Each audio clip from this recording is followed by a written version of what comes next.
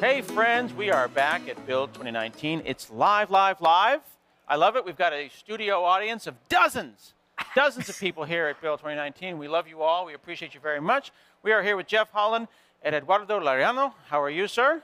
Very good. Nice seeing you again. Nice to see you, sir. Your beard is looking just wonderful today. Uh, that's not what my wife said. I think it's lovely, and I, I, am I'm envious. I wish I had a beard as nice as that.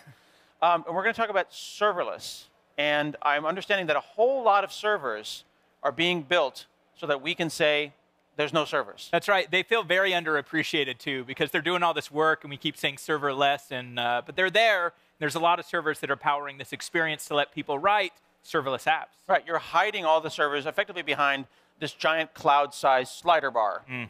That's atta- attached to my credit card, right? I mean, you can go as big as I want to. Like, how big can serverless get? How big can Azure Functions go? Uh, as big as anyone needs, uh, and it, it really is. It the the whole point of serverless and what we're trying to accomplish is I just want to focus on my application code. I want to write what needs to happen, whether it's a, an HTTP API or a background process on a queue or event stream, and the rest is taken care of for you. Like we often talk about it in this analogy of you could go own a car, and if I need to get from the convention center to the Space Needle, I could go purchase a car, I could pay a lease and drive it there, or I can just open up the Lyft app and say, I want to get from here to there, and uh, someone's going to pull up, pick me up. I'm not worried about gas, I'm not worried about directions. Serverless is much more like that mm. for your applications. That's I'm really just going to give you my code, take care of everything else for me. I don't want to have to deal with it. That's a really good analogy. But then it gets even more complicated. You have to buy insurance for the car. You got to SSH into the car and run apt update.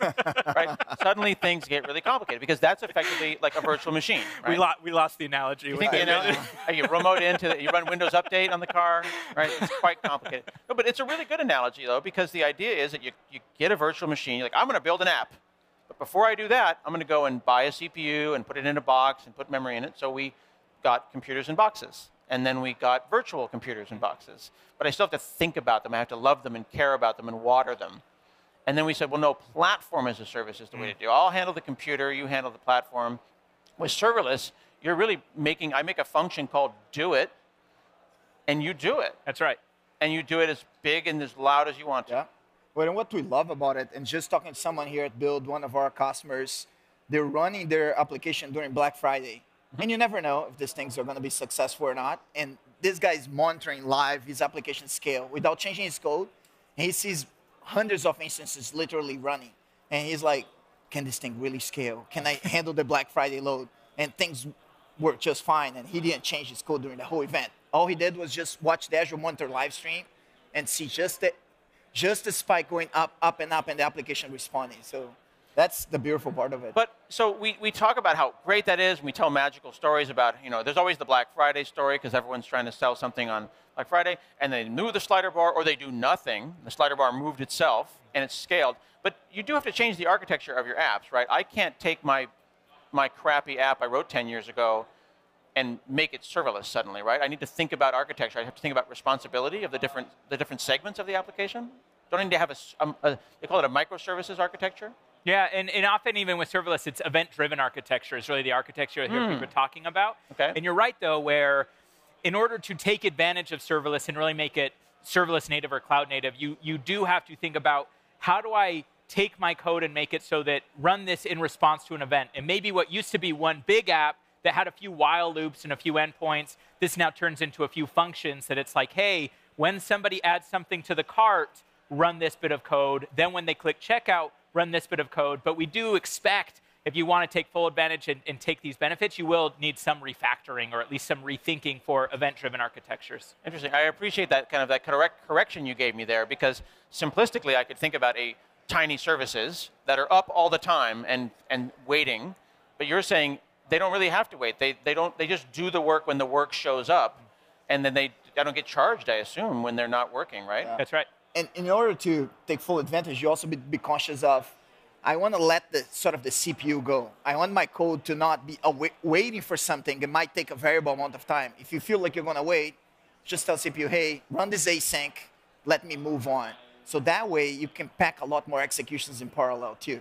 That's another architectural thing that we recommend people do try to do one thing only and try to do one thing that and try to run async as much as possible. Okay, so you do one thing, you do one thing well, you get out of the function, and if it's any kind of work that needs to happen offline, that's another uh, just-in-time thing to do, like another event. So, um, hey, here's an image. Okay, I take the upload of the image. Now do something really complicated and long-running on the image.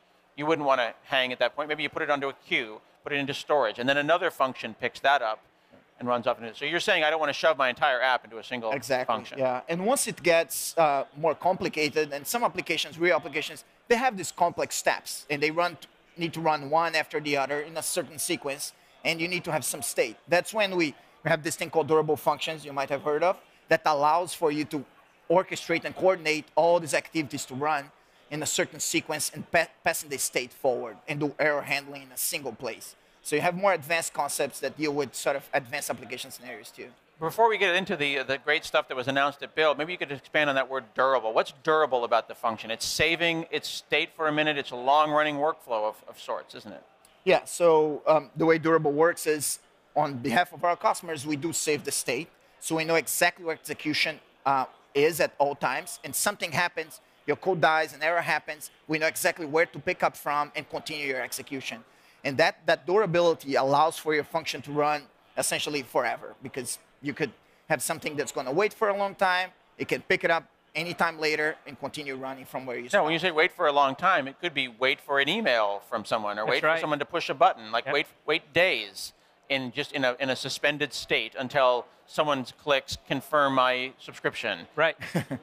yeah, and, and in the same way, uh, you know, kind of explaining where durable fits, all the goodness you described with the event driven, where it's like, hey, just do work when there's work to be done, and when there's no work, don't pay. Durable will build your app in the state in that way so that if it takes a week for somebody to click that email, mm-hmm. you're not paying for anything during that week. Like your, your function may have scaled completely to zero, your charges are zero, somebody clicks subscribe, that drops an event, your function wakes up, and it starts from that point and keeps moving on throughout that workflow that Eduardo described. So very cool stuff. I've got 16 or 17 websites that are running in Azure right now in app service, and I've moved pieces into functions. But is it desirable, or is it even possible for me to have everything be in functions where everything's just in time? Uh, it's a it's it's a common question that people come against is like, hey, how like should everything be serverless? I I think especially for websites in the past, some of the stuff that's made moving everything to functions challenging is there are things because we are running on demand where you might hit some cold start. So if somebody goes to you know scotthanselman.com, uh, which I hope is the domain. Uh, It's not, but thank you for that. uh, Scott Hanselman appreciates the plug. The other one. you can Google me with Bing, you'll find it. Uh, but there might be some additional latency there. So sometimes we've seen people with like traditional, maybe they're using MVC, they have middleware and those other pieces. You can't just take your .NET MVC app and run it as a function. Right. Both from a programming model point of view, but also from I might get some extra latency that you're not getting with app services. However, one of the things we are striving to do is make it so that if you do want those benefits, maybe we give you options like this new premium plan where you can say, I want to write this as a function, but let me turn it on so I never hit cold start. Or we just expose some new dependency injection stuff so that maybe you can inject middleware or other pieces the same way you're doing with your .NET apps today, but have them run as functions behind the scenes. So I think it's fine. And in fact, the pattern we see the most is exactly what you're doing. I've got my site. I'm going to start moving pieces to functions. But I think we're moving towards a world where more and more people are going to start to be able to write things in a serverless way. And it's Eduardo and I's job to make sure that people have the tools, the capabilities, the experience that they expect to do that that feels natural. Very cool. Um, there were some mind-blowing updates. What are those updates? Blow my mind.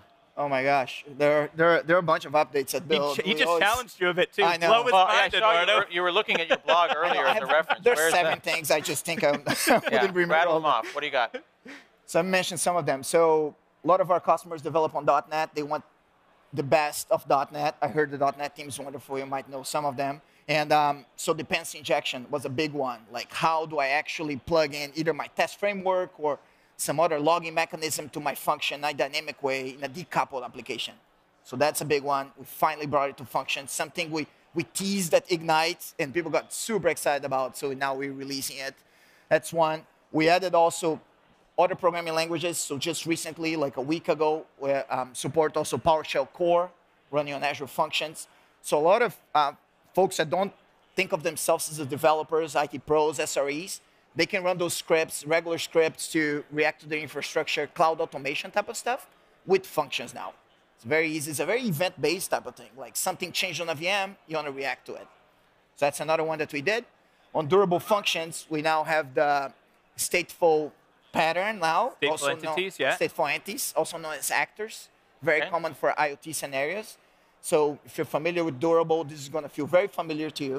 Is another way that you can implement and represent your code in functions. That's also new.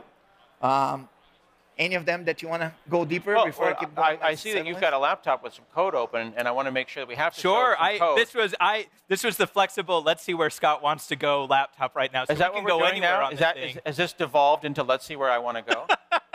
Evolved is the right word there. We I can show. that. I do think Why it's don't we worth, bring up your, your because we have talked here. some about durable. This is the most boring screen demo ever. Uh, Could you just literally just- bring up the documentation? which I never I didn't know where if this where isn't running in a function, gonna go. then I'm gonna. You're, so this is the stateful entity pattern, and I'm going to stop here for a second because I do think this is worth double clicking on. So here I have an Azure function in Docs, uh, but it is it has what's called an entity trigger. So this is going to be a counter. Now I could have many of these counters. This could be like connected to my Fitbit or my Apple Watch. Maybe I have Scott's counter, Jeff's counter, Eduardo's counter. I can keep an instance of that counter for every single person that I have. And we are going to manage the state okay. for it's you. It's not a static. Uh, it's, it's yeah. an instance. And as an instance, that's Right. right. Uh, in this pattern that we've just announced makes it so that I could say, hey, go add a step to Jeff's counter. This could have been a week after your last step, because I don't know, maybe you've been sitting at this hostess the whole time. We're going to rehydrate that function, rehydrate your state, make sure your step goes up plus one. uh, Pick it up where we left off. There. Pick up where you left off. So this is a really nice pattern for like IoT devices, where you want an instance of a function execution with some state for my thermostat, for my you know conference room, whatever else, and then managing as people move, as people come in, or gaming is another big scenario. Like I want to build words with friends. But where is this? Where, where there's the state within the context of the function, and then there's the state within the context of my app. Am I putting Mm. it in a database? Am I- Is it in Cosmos? How do I manage the state that you manage transparently and the state that I manage explicitly? So the one we do transparently is using Azure Storage. Uh, one of the other mind-blowing updates is that we now also have preview support to do this in Redis, which we know has been popular. Like IoT, people want to do. Yeah, boo, there it is. There it we is. got it. My brain is Uh, exploded. but but it is a very common pattern where it's like, hey, I have some state here which can be managed for me, but maybe I'm going to align this with some data in Cosmos. So transparently, we'll do it with Co- or with Azure Storage and, and Redis, but we we want to make that story even more extensible so that ideally we make it even easier. I just had a moment. You know, have His you, mind got blown. I just had a moment because people are asking questions, and, and the number one question that we can see over on the board here is like, but I, I don't understand. What's serverless? What's serverless? I'm thinking about services. It's not server. It's serverless, but it's server full. That's exactly service right. full. Service- Service full. Service full. There you go. Uh-huh. That's a thing now. T-shirts. It is. Um, because what I'm thinking about is I'm going to use Redis for this, I'm going to use Azure Storage for that, I'm going to use Cosmos for this. Yes, there are computers involved at some point, Yeah. but I have a world database in the form of Cosmos that I don't have to think about scale anymore. It's fine. I've got an unlimited disk. It's not a C drive, it's just the world C drive. It's Azure Storage. I've got Redis, which can Redis service on Azure can scale as big as I want.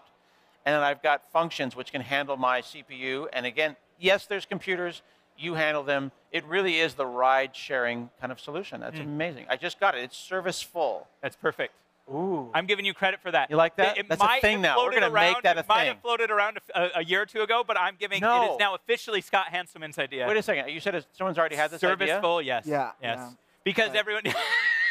but but you came on it on your own, Scott, and it was Oh, spot well, you on. led me down the primrose path, so I will give full credit to you, Jeff Hollan. But that's exactly right. And again, was the, the one special. point, just, just to emphasize, because I know we've, we've got some questions too, the whole purpose we're going for is make me as productive as possible. Let me just worry about the things I want to worry about. And that is really made possible with this serviceful world. Like, hey, I don't really want to have to deal with scaling my C drive. Azure Storage is a much more productive way to do that. Uh, that just permeates throughout the entire architecture. That's really cool. So the things that you announced, are they all GA now? People can use these things. They can go to the regular places on Azure.com and find information about Azure Functions, or do they have to wait?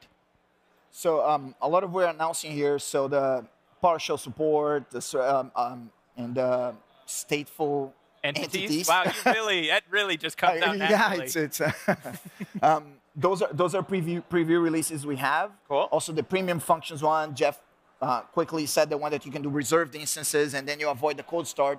Those are all in preview right now.